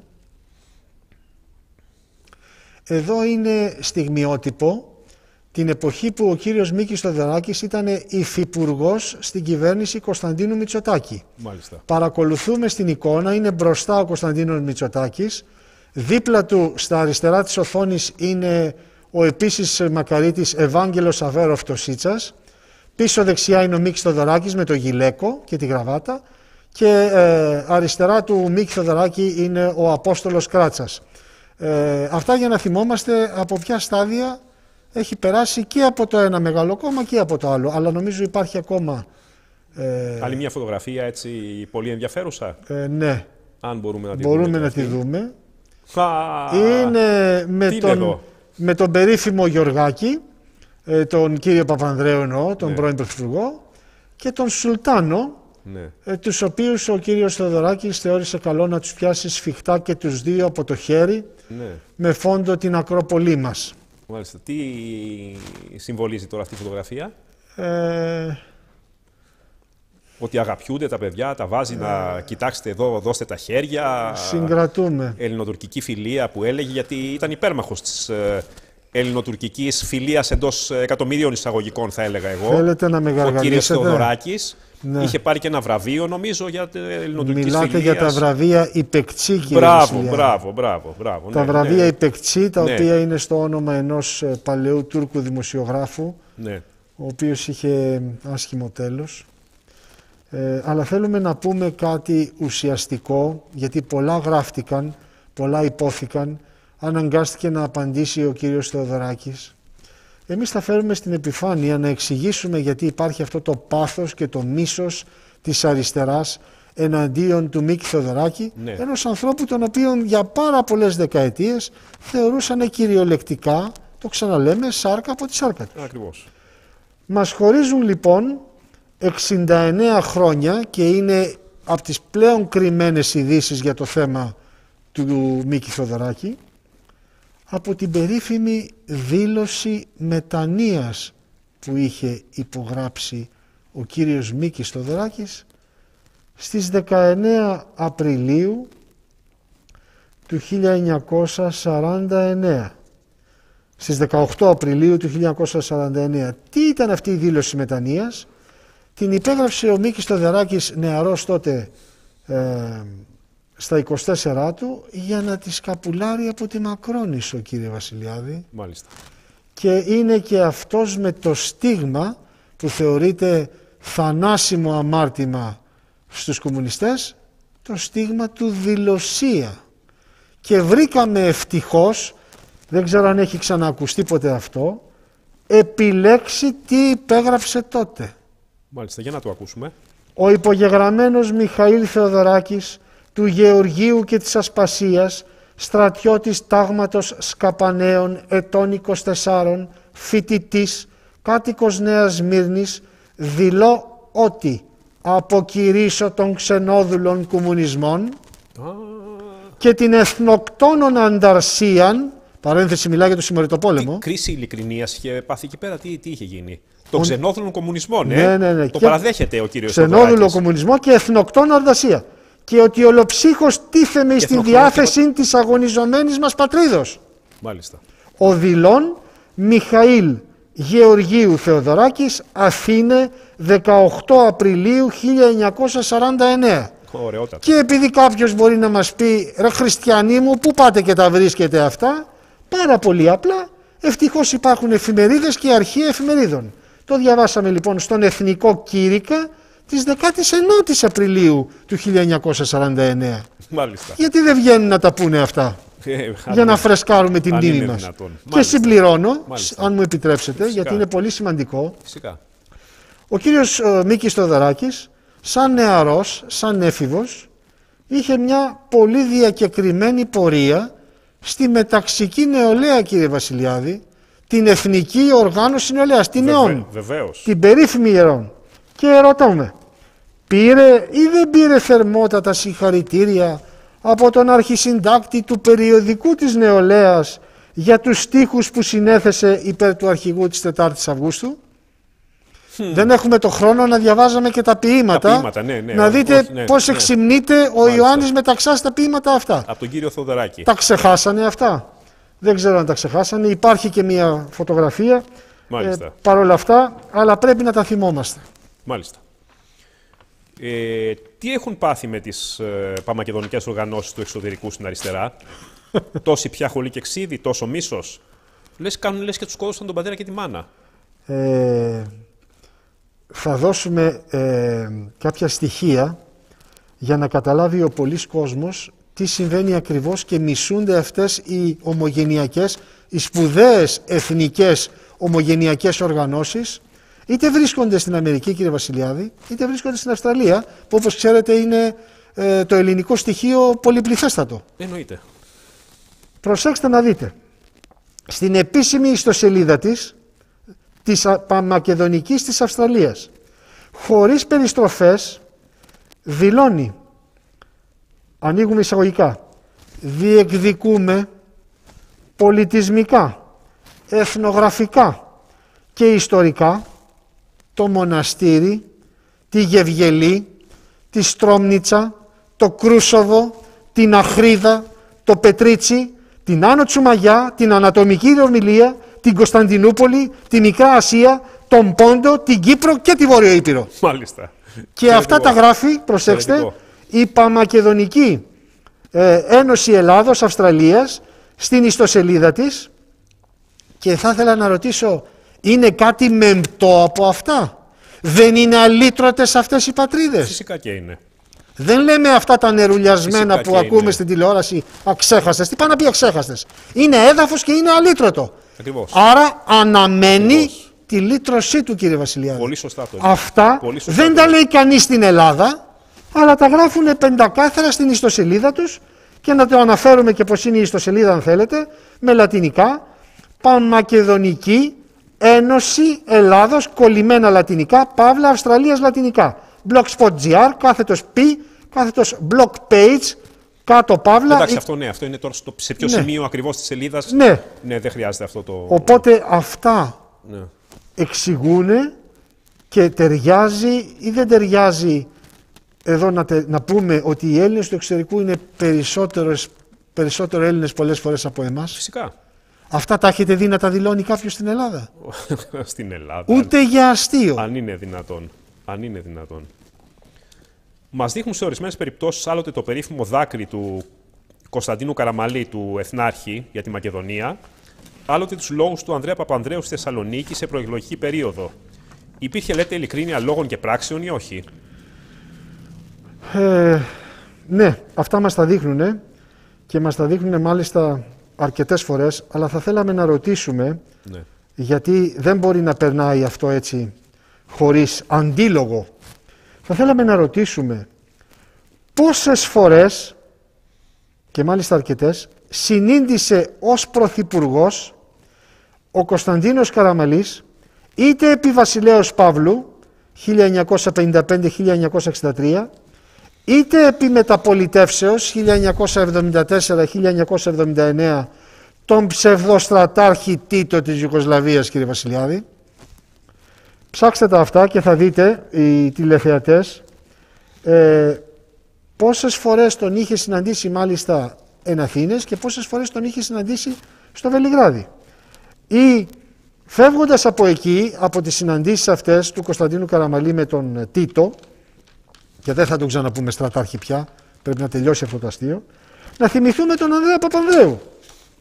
Επειδή παλαιολισμένοι μας παρουσίασαν ομιλίες του ναι. σε ε, κάποιες ιστοσελίδες από προεκλογικό μπαλκόνι της Θεσσαλονίκης που ήταν υπέρ της Μακεδονίας, θα θέλουμε να ρωτήσουμε τι έκανε λόγου χάρη όταν ερχομένη εδώ για επίσκεψη η τότε πρωθυπουργός της Ιουκοσλαβίας το 1983 η Μίρκα Πλάνιτς και μπορούν να τα βρουν αυτά οι τηλεθεατές έβγαλε γλώσσα για το μακεδονικό ζήτημα τι της απήντησε τότε; Απήντησε κάτι; Για πείτε μας. Ο Μακαρίτης Ανδρέας Παπαδέου. Όχι κύριε Βασιλιάδη. Α, έχασε τη λαλιά του; Τα θυμούνται αυτά ορισμένοι ή έχουμε τόσο πολύ πάλι κοντή και ανύπαρκτη ιστορική μνήμη; Επίσης τόσες και ο προηγούμενος. Όχι, έχουν επιλεκτική ιστορική μνήμη και όχι κοντή, επιλεκτική μνήμη. Επιλεκτική μνήμη. Και θέλουμε να πούμε ε, για τον Ανδρέα Παπανδρέου μια σημαντική λεπτομέρεια ε, που μας έκανε μεγάλη εντύπωση όταν κοιτάγαμε ορισμένες φωτογραφίες. Είχε ή δεν είχε για πολλά χρόνια στο πίσω μέρος του γραφείου του φωτογραφία, προσέξτε, όχι τη συζύγου του, όχι των τεσσάρων παιδιών του, όχι του πατέρα του Γεωργίου Παπανδρέου, όχι της μητέρας του της Σοφίας Μινέικο, και ποιον είχε; αλλά είχε τη φωτογραφία του Τίτο κύριε Βασιλιάδη. Αυτό που, λοιπόν, που, πουλάει πού είναι αυτή η Μακεδονομάχη, η μεγάλη πολιτική, συγχωρεμένοι και οι δύο, και ο Ανδρέας Παπανδρέου και ο Κωνσταντίνος Καραμαλής. Καλά, πού κόλλαγε ο Τίτο τώρα στο. Μα αυτόν είχε φωτογραφία πίσω του κύριε Βασιλιάδη ο Ανδρέας Παπανδρέου. και υπάρχει η φωτογραφία αυτή. Πρωτάκουσα να το έχω ξανακούσει αυτό ναι, το πράγμα. Ναι, δεν είχε την οικογένειά του. λοιπόν, ε, θα πρέπει λοιπόν ε, να τα λάβουμε σοβαρά υπόψη μας αυτά και να μην ξεγελιόμαστε Μάλιστα. με κάποια στιγμιότυπα που απλώς προβάλλουν. Στο Σκοπιανό πλην των Ηνωμένων Πολιτειών Αμερικής μας κάβουν και άλλοι το λάκκο. Ε, δυστυχώς δεν είναι μόνο ο Αμερικανικός παράγων, ο οποίος έχει, αναφέραμε σε προηγούμενη εκπομπή, ποια ακριβώς συμφέροντα ε, στα Σκόπια, είναι και ο Γερμανικός παράγων. Μάλιστα. Ο Γερμανικός παράγων ο οποίος πάντοτε ήθελε να έχει δυναμικές ε, άκρες, να το πω έτσι, επιρροές στην ε, περιοχή εκείνη της πρώην Ιουκοσλαβίας και με το που έγινε ο κατακαιρματισμός, η διάλυσής της με τον θάνατο του Τίτου είναι κοινό μυστικό στους διπλωμάτες ότι το παράρτημα των γερμανικών συμφερόντων στα ε, χωρισμένα κρατήδια από την Ιουγκοσλαβία είναι η Κροατία. Είναι ένα κυριολεκτικό παράρτημά της. Δεν τα λένε οι αναλυτές, αλλά έτσι συμβαίνει. Δεν αρκείται όμως η Γερμανία μόνο στην Κροατία, θέλει να ανοιχθεί κι άλλο. Ε, εμείς δεν μας ενδιαφέρει η κυρία Μέρκελ αν δυσκολεύεται να φτιάξει κυβέρνηση και αν βρίσκει συνεννόηση. Ναι. Ε, και πρέπει να πούμε ότι η κυρία Μέρκελ θα πρέπει να κοιτάξει τα του οίκο της και όχι να ανακατεύει τη, Βαλκανική, τη Βαλκανική Χερσόνησο εις βάρος των λαών της Βαλκανικής για σφαίρες επιρροής και παρένθεση για να μπει και στο μάτι της Ρωσίας. Μην τα ξεχνάμε αυτά. Κυρία Μέρκελ. Και θα πρέπει να πούμε, επειδή το τονίσατε, Κυρία Μέρκελ. δεν είναι το όνομά της αυτό. δεν λέγεται Μέρκελ αυτή η γυναίκα. Αυτό το παραμύθι στην Ελλάδα πρέπει να τελειώσει. Διότι έκανε ένα γάμο, επιτρέψτε μου θα το πω, μπαίνω επί προσωπικού θέματος ναι. της κυρίας αυτής, αλλά πρέπει να τελειώσει το αστείο με αυτό το επώνυμο. Έκανε ένα γάμο το 1978 με ένα νεαρό τον οποίο φαίνεται δεν τα πήγανε καλά και το 83 τον χώρισε. Αυτός ο νεαρός λεγότανε Μέρκελ. Ναι. Ερωτώ, από το 83 αυτό το ε, ταχύτατα ανερχόμενο στέλεχος των χριστιανοδημοκρατών που ήταν σε εξέχουσες θέσεις επί Ανατολικής Γερμανίας στο Κομμουνιστικό Κόμμα Ανατολικής Γερμανίας αυτά δεν μας τα εξήγησε κανένας πως κολλάνε Όχι. λοιπόν σε αυτή την κατάσταση από το 83 στη Δυτική Γερμανία και μετέπειτα στην Ενωμένη Γερμανία ναι γιατί εξακολουθεί να κρατάει το επώνυμο αυτού του νεαρού που είχε πέντε χρόνια μαζί της; Γιατί; Δεν έχει όνομα. Έχει όνομα. Η κυρία είχε ένα πατέρα. Ο πατέρας της λεγόταν Κάσνερ. Αυτό είναι το επώνυμό της. Και το πατρικό της μάνας της είναι Καζμιέρτσακ. Και οι ρίζες βρίσκονται στο Πόσναν της Πολωνίας. Αυτό το ανέκδοτο με το Μέρκελ πρέπει να τελειώσει και να Μάλιστα. πάψουν να μας κοροϊδεύουν οι δημοσιογράφοι κατεβάζοντάς την Μέρκελ. Και θα μπορούσαμε επίσης ε, να πούμε ότι ε, υπήρχε μία οικογένεια Μέρκελ στην προπολεμική Αθήνα κύριε Βασιλιάδη η οποία κατοικούσε σε ένα πολύ ακριβό σπίτι στο παλαιό ψυχικό.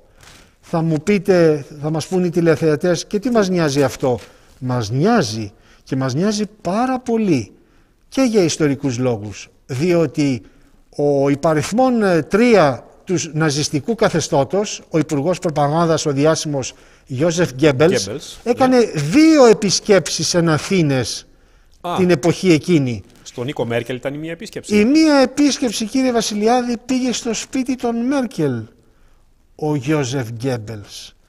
Και υπάρχει και φωτογραφία, μην τυχόν τολμήσει κανείς και το διαψεύσει.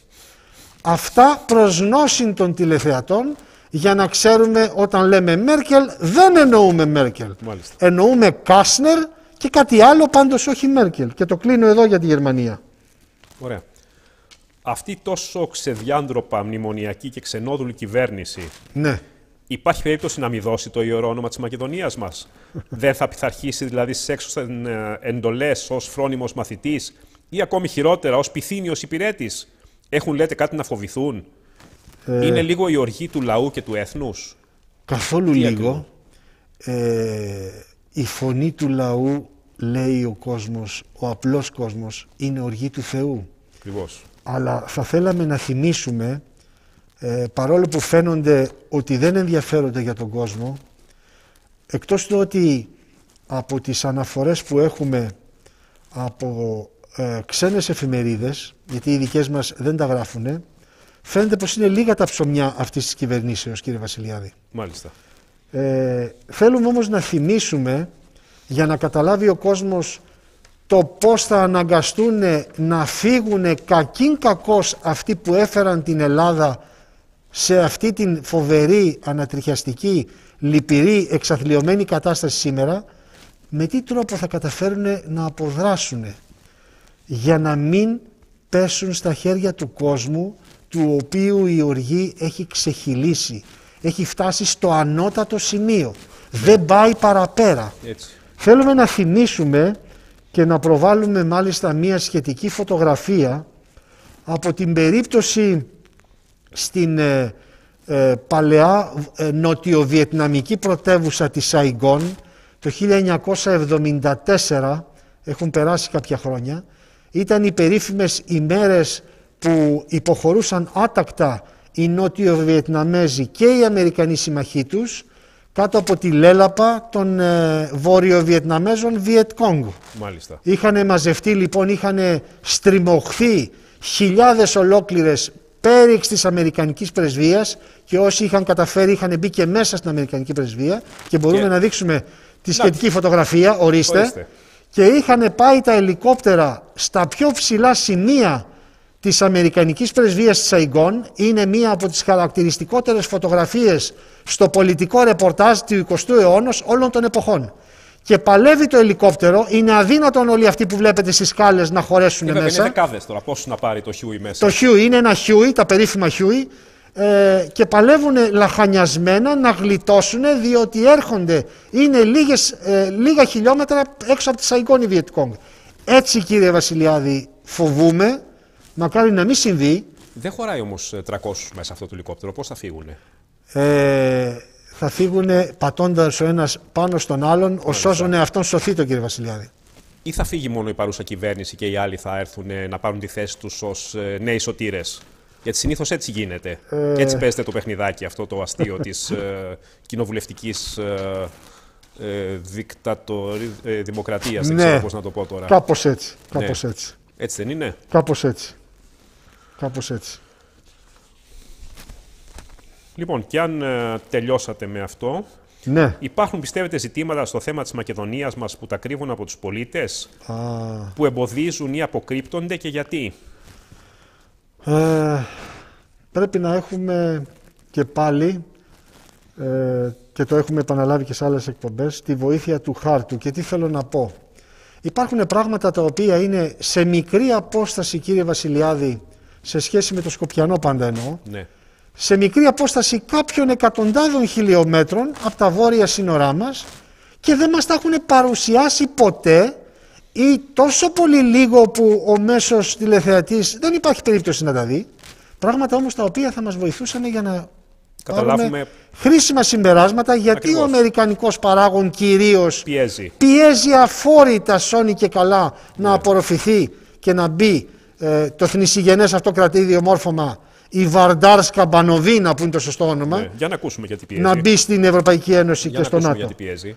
Μέσα λοιπόν ε, στην ε, επικράτεια των Σκοπίων και σε ένα ποσοστό στην επικράτεια και του Κωσόβου Μάλιστα. είναι η μεγαλύτερη παγκοσμίως αμερικανική στρατιωτική βάση του κόσμου που ονομάζεται Camp Bonstil και απέχει μόλις, προσέξτε, 150 χιλιόμετρα από τα ελληνικά σύνορα. Α, τόσο μακριά είναι για να μην την ξέρουμε. ε. Μιλάμε είναι, πάρα, για πο- μα είναι 100 πάρα πολύ μακριά. Μιλάμε για 150 χιλιόμετρα και δεν μιλάει κανείς για τη βάση Μπονστήλ. Τι σημαίνει χειροπιαστά η μεγαλύτερη στρατιωτική βάση των Ηνωμένων Πολιτειών, Πολιτειών στην Ιδρόγειο; Σημαίνει, κύριε Βασιλιάδη, ότι είναι ορατή διαγυμνού οφθαλμού από τη Σελήνη, κύριε Βασιλιάδη. Μέχρι τώρα οι αστροναύτες στο διαστημικό πρόγραμμα Απόλλων της δεκαετίας του 70 αν θυμάστε μας έλεγαν ότι από το φινιστρίδι του διαστημοπλοίου διακρίνανε το συνικών τείχος στην Κίνα κύριε Βασιλιάδη Μπράβο, ακριβώς. το μόνο ορατό σημείο από τη Σελήνη τότε ε, καθώς ε, ε, ε, γυρνούσανε από, το, από τα ταξίδια τους στα διαστημικά. Τώρα είναι και η βάση Μπονστήλ ορατή διαγυμνού οφθαλμού. Μπορούμε να δούμε μια φωτογραφία της Σας παρακαλώ, ε, της δείξτε- βάσης, έτσι, ναι. να δούμε τι... Να την. Ε, ας αφήσουμε μια στιγμή να την κρατήσουμε αυτή τη φωτογραφία. Ναι.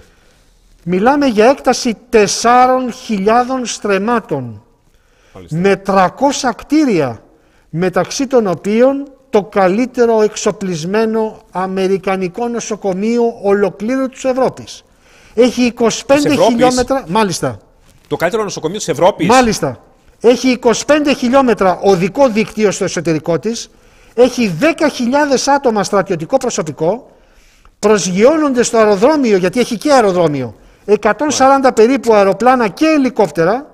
Και έχει τον πιο βαρύ ε, εξοπλισμό, πολεμικό εξοπλισμό που υπάρχει στην Ευρώπη. Οι Αμερικάνοι, οι στρατιωτικοί και ο Αμερικανικός τύπος αποτε, αποκαλούν με καμάρι τη βάση αυτή με το υποκοριστικό Grand Dame στα γαλλικά, η Μεγάλη Κυρία. Η Μεγάλη Κυρία. Μάλιστα. Ε, έχουμε νομίζω και μια ακόμα φωτογραφία που μπορούμε να δούμε ε, για την ε, συγκεκριμένη βάση. Εδώ είναι ένας ε, ε, αρκετά ε, εύληπτος χάρτης να καταλάβουμε τα σύνορα ε, της, ε, ε, της, ε, των Σκοπίων, ε, της Αλβανίας, του Κωσόβου. Τα οποία πολύ κακώ τα γράφουν Μασεντόνια γιατί είναι. Ναι, γιατί εντάξει, όλοι οι ο- ξένοι χάρτες δυστυχώς, κύριε Ναι. Βασιλιάδη, ε, και εμείς ψάξαμε και δεν βρήκαμε μία που να γράφει έστω φύρομ, ούτε φύρομ. Ναι. Όλες το γράφουν έτσι. Και νομίζω ότι στο κομμάτι τουλάχιστον το ανατολικό νοτιοανατολικό, το οποίο είναι υπό, την, ε, υπό τον έλεγχο των Ηνωμένων Πολιτειών Αμερικής, Ναι. ε, νομίζω σημειώνεται το. και, ε, Έχει κάποιο σημαδάκι εκεί, γράφει Camp Bondsteel, αν το Έτσι, βλέπω καλά. έτσι, έτσι. Και βλέπετε πώς είναι μοιρασμένο. Τι είναι τώρα αυτό το πράγμα. Είναι το η σ- έχουν μοιράσει μεταξύ τους. Οι σφαίρες επιρροής. Ιταλία βλέπω στο δυτικό κομμάτι. Ε, πάνω. Γερμανία είναι πάνω, δεν το βλέπω πολύ καλά. Ε, Είναι όχι, μοιρασ- Γαλλι- ο γαλλικός... ε, Στους συμμάχους. το γαλλικ- Ναι, Στου ναι, συμμάχους, ναι. μοιρασμένο. Μοιρασμένο δεν θα φύγουν από εκεί ποτέ, φαντάζομαι. Έτσι το, τα πήραν αυτά τα εδάφη τώρα. Ε, Κανείς δεν θα φύγει από τους πέντε. επίσης, επίσης, Γερμανοί βλέπω στα νότια. Ναι, ναι, ναι, ναι, ναι. Έτσι, και οι Άγγλοι είναι βόρεια, βορειοανατολικά. δίπλα κοντά από Εντάξει. την ε, Μπονστήλ Ναι. Ε, υπάρχει μια δεύτερη βάση, ε, σκοπός της οποίας είναι η επιτήρηση μαζί με την Βοστήλ όλων των Βαλκανίων ναι. και των δυτικών συνόρων προσέξτε της Ρωσίας, αλλά και του αγωγού πετρελαίου μήκους 900 χιλιόμετρων που θα συνδέσει τη Μαύρη Θάλασσα με την Αδριατική Θάλασσα μέσω Βουλγαρίας, Σκοπίων και Αλβανίας και θα μεταφέρει, κρατήστε τον αριθμό, 750.000 βαρέλια ημερησίως. Γι' αυτό και έγινε το γνωστό consortium, παρένθεση γνωστό για αυτούς που θα το ψάξουν, ε, consortium διαχειρίσεως του πετρελαγωγού με την υπονομία AMBO, δηλαδή AMBO, Albanian, Macedonian, Bulgarian Oil. Τα έχετε ακούσει αυτά που πουθενά κύριε Βασιλιάδη; Μασεντόνι, τι εννοείς, Σκόπια εννοεί τώρα όταν λέει Ναι, Μασεντόνιαν. μάλιστα. Είναι κοινή εταιρεία και Μάλιστα. διαρωτώ με πότε θα, απο- θα α- ακουστούν αυτά στην Ελλάδα. Ε, ε, πάντα τα ακούμε κατόπιν εορτής. Και, μι- Έτσι δεν και συμβαίνει; μιλάμε για 150 χιλιόμετρα απόσταση Μάλιστα. από τα σύνορά μας. Να Και- δούμε, έχουμε και άλλη μια φω- φωτογραφία νομίζω του στρατοπέδου, έτσι, αν μπορούμε να τη δούμε και αυτή. Μάλιστα, μάλιστα. Α, Κάτι είναι. είναι η περίφημη επίσκεψη που έκανε στην Γκάμπο Στυλ ο, ο πρώην ε, ε, πρόεδρος, ο ιός ε, Μπούς. George Bush ε, και στην οποία μάλιστα είναι πολύ χαρακτηριστικό ε, αν και το διέψευσαν οι Αμερικάνοι από τα πολλά χέρια Αλβανών που χαιρέτησε του πήραν και το ρολόι ε, και δεν ξέρω Ανέκδοτο είναι τώρα αυτό. ναι δεν είναι ανεκδοτό δεν είναι ανεκδοτό και ήταν πραγματικό. πολύ ακριβό το ρολόι που φοράγε Μάλιστα. ε, με λουράκι και το πήρανε Ναι. ε, ναι είναι ο περίφημος ε, ιός Bush Ωραία. ε, είπαμε λοιπόν σε αυτή τη βάση ότι ε, σταθμεύουν ε, πολλά αεροπλάνα και ελικόπτερα, 140 συνολικά, 70 αεροσκάφη και 60 ελικόπτερα. Μάλιστα. Και φανταστείτε ότι ε, υπάρχει ε, σκοπός και στόχος, σχεδιασμός ε, για να μεταφορηθεί η βάση του Αβιάνο η περίφημη της Ιταλίας να μεταφερθεί εκεί. Ε, Γιατί Μάλιστα. από το Αβιάνο θυμίζω εξορμούσαν για τον πόλεμο της φοβερό Σερβίας. πόλεμο της εναντίον της Ιουγκοσλαβίας Ιουγκοσλαβία. το 99 της Σερβίας Ακριβώς. ε, εξορμούσαν τα, γερμανικά, τα, συγγνώμη, τα Ανατολικά. αμερικανικά αεροπλάνα. Και βέβαια μια λεπτομέρεια την οποία επίσης αγνοεί το ελληνικό κοινό και θα έλεγα συγχωρέστε με και τι δεν αγνοούμε εδώ στην Ελλάδα ε, υπάρχει και η πάρα πάρα πολύ μεγάλη, αφύσικα μεγάλη αμερικανική πρεσβεία στα Σκόπια. Το ξέρετε; Όχι.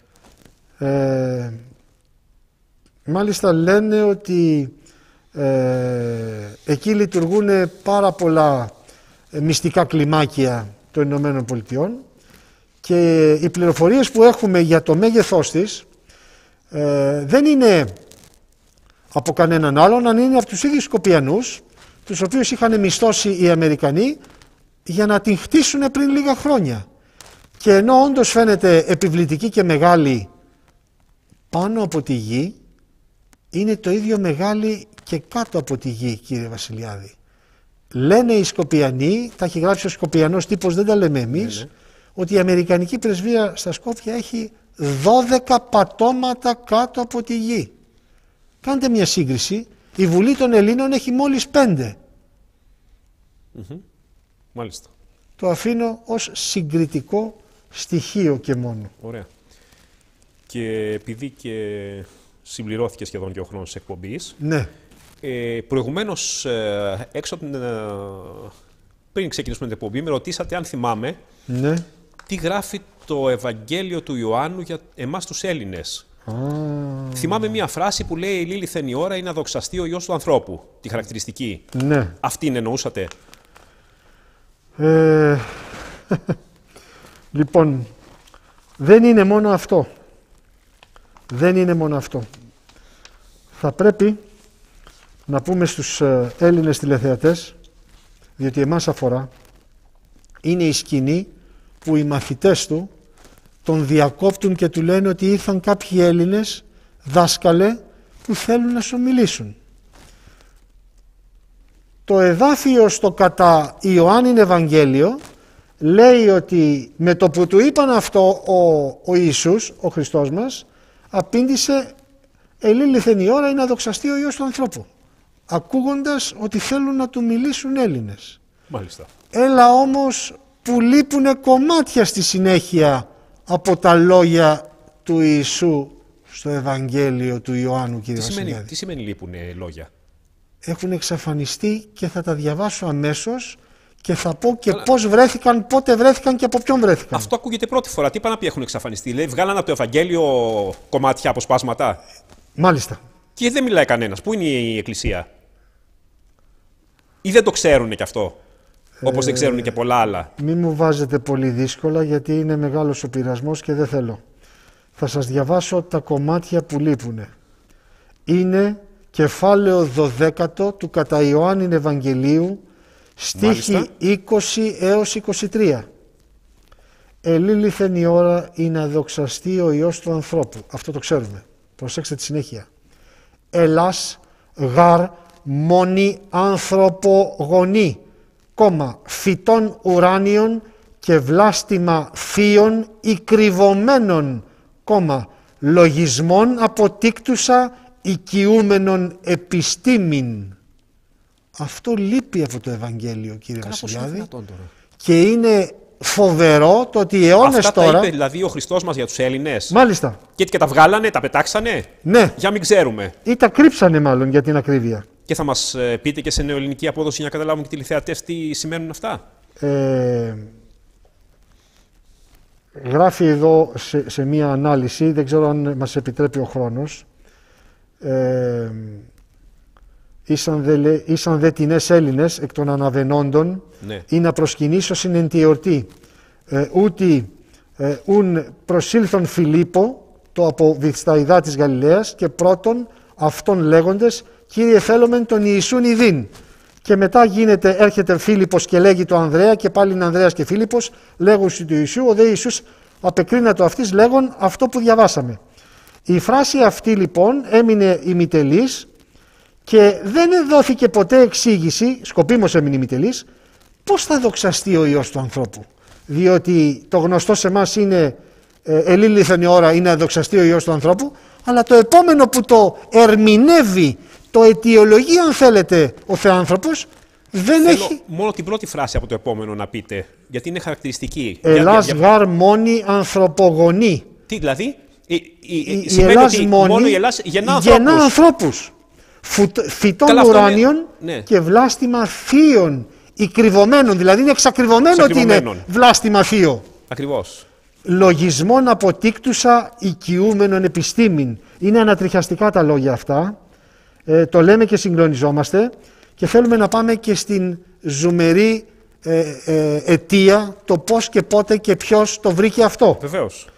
Αυτό το, ανέφερε, το αναφέρει στο βιβλίο του ο Μενέλαος Παγουλάτος, το βιβλίο του Ανθολόγιο Πατριδογνωσίας, του, ε, είναι τις δεκα, αρχές της δεκαετίας του 70 και λέει ότι το 1974 ο καθηγητής Πανεπιστημίου Ελευθέριος Πρόκος, επίτιμος καθηγητής ξένων πανεπιστημίων, συμμετέχουν σε επιστημονική επιτροπή της UNESCO, όχι μόνο του ως Έλληνας κύριε Βασιλιάδη, Ναι. γιατί στο Βατικανό δεν έχει στοιχεί ως Έλληνας να αναζητήσει αρχεία, συμμετέχουν με άλλους ξένους καθηγητές στην Επιστημονική Επιτροπή της UNESCO, Ναι, πήγαν στο Βατικανό αυτοί. ανακάλυψε στην βιβλιοθήκη του Βατικανού ένα χειρόγραφο του περιφήμου Ευσεβίας, Ευσεβίου του Πανφίλου, επισκόπου Κεσαρίας, το ξαναλέω, Ευσεβίου του Πανφίλου, επισκόπου Κεσαρίας, το 265 μετά Χριστόν, το οποίο περιέχει την περίφημη αυτή συνέχεια της φράσεως που διαβάσαμε προηγουμένως, της συγκλονιστικής αυτής φράσεως που διαβάσαμε προηγουμένως. Και πώς με ερμηνεύεται, να το πούμε επειδή το ζητήσατε, διότι μόνη η Ελλάς γεννά ανθρώπους, φυτό εκ του ουρανού και του Θεού βλάστημα, εξακριβωμένο από γενόσα λογική σκέψης και ιδιοποιουμένη την επιστήμη. Είναι φοβερά, είναι συγκλονιστικά τα λόγια αυτά του, Φοβερά αυτά, του φοβερά. Χριστού για μας Τους τους Χριστού, Έλληνες. ακριβώς. Και Ε, δεν συμφέρει να ακούγονται αυτά τα παριστάνουν ότι πράγματα. δεν το ξέρουν. Και ε, αντί αυτή η περικοπή να λέγεται και να ξαναλέγεται και να αναλύεται και στους ιερούς ναούς και στα κηρύγματα, που απευθύνεται σε εμάς τους Έλληνες Ορθοδόξους, άκρα του τάφου σιωπή, κύριε Βασιλιάδη. Μάλιστα. Μάλιστα. Ε, και μάλιστα ότι αυτό θα απαιτούσε και το περίφημο δίκτυχο Ορθοδοξία και Ελλάς. Τα ευνόητα δηλαδή. Επίσης ε, πρέπει να πούμε για όσους ακούσαν για πρώτη φορά το όνομα του αρχικού συγγραφέως ότι ο Ευσέβιος Κεσαρίας ο λεγόμενος Πανφίλου είναι ο ιδρυτής της εκκλησιαστικής ιστορίας και αυτό διδάσκεται στο Πανεπιστήμιο. Όχι η κομμένη φράση από το Ευαγγέλιο του Ιωάννου αλλά πόσο κορυφαίος θεωρείται ο Ευσέβιος Κεσαρίας ο οποίος ναι μεν δεν είναι Άγιος αλλά πλήστη όσοι ιστορικοί της εκκλησιαστικής ιστορίας εννοούμε ανατρέχουν και παίρνουν από τον Ευσέβιο Κεσαρίας στοιχεία και αναφορές για τους καιρούς εκείνους. Μάλιστα. Άρα λοιπόν είναι πολύ γνωστός ο εκκλησιαστικός συγγραφέας Ευσέβιος Κεσαρίας και δεν νομίζω ότι μπορούμε να αμφισβητήσουμε και τον Ευσέβιο Κεσαρίας και τα αρχεία του Βατικανού που ξέρουμε καλά τι υπάρχει μέσα και τον καθηγητή που το βρήκε τότε. Μάλιστα. Μάλιστα. Αυτό ήταν ε, τρομερό που, που μας είπατε τώρα και νομίζω ότι είναι και το καλύτερο κλείσιμο της εκπομπής. Μάλιστα. Έτσι, διότι ήδη περάσαμε το χρόνο αρκετά. Θα σας ευχαριστήσω για μία ακόμη φορά για όλα αυτά τα τόσα εξαιρετικά που μας είπατε. Να είστε καλά. Κυρίες και κύριοι, Και εγώ στο σημείο ευχαριστώ. αυτό ολοκληρώθηκε η εκπομπή. Ε, μόνο ένα κομμάτι από αυτή τη φράση που πιστεύω ότι σχεδόν ε, όλοι πρώτη φορά ακούσαμε. Ελλάς γάρ μόνη ανθρωπογενή. Δηλαδή, μόνο η Ελλάς ε, γεννά ανθρώπους, είπε ο Χριστός μας. Να είστε όλοι καλά, χαίρετε.